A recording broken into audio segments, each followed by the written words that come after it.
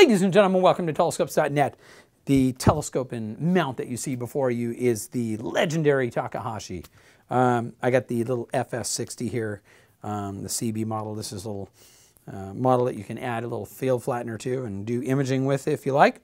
I have this one set up with the awesome Teegul mount from Takahashi as well.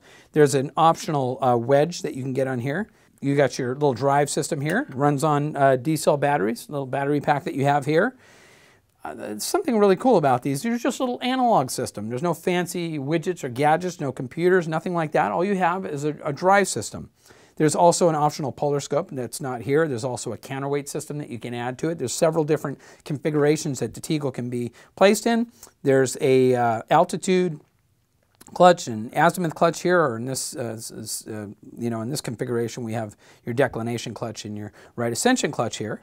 And then uh, what's happening is that once you uh, tighten these clutches, the motor's engaged and it'll simply start tracking. So as long as I have the the axis here, the equatorial axis pointed towards the North Pole, the telescope will track at any object that I point at. So I can just simply loosen the clutches, or I have these uh, slow motion controls. So if you'll notice here, I'm just moving this one here to adjust the, uh, you know, the altitude motion, and then this slow motion control here to go ahead and move your uh, right ascension, you know, right here. So um, it's just kind of neat to use these kind of systems. You have your finder scope, which is nice, so that if you want to, you know, look behind, you can use both eyes and then uh, find your target. And what you do is you merge the two stars together to center them in the uh, target, and then eventually see them in the eyepiece.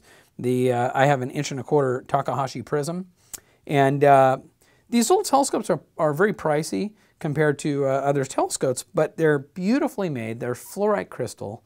They're doublets. Uh, it's a 355 millimeter focal length in this particular case, but the images are crystal clear, uh, very exquisite.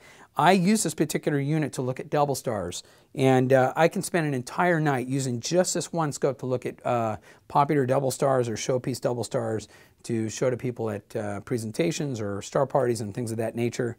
Uh, even though the scope is, is underwhelming because it's so small, you can still see a lot of things. It, you just requires that you know what you're looking at, and uh, knowing a little bit about it makes it even all the more interesting. But nevertheless, highly recommended, and you can actually do imaging with it.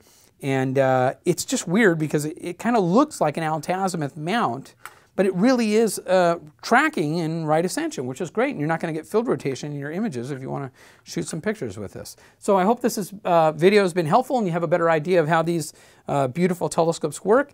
And if you have any questions, call us toll free at 888 427 8766 and ask for Dr. D. That's me.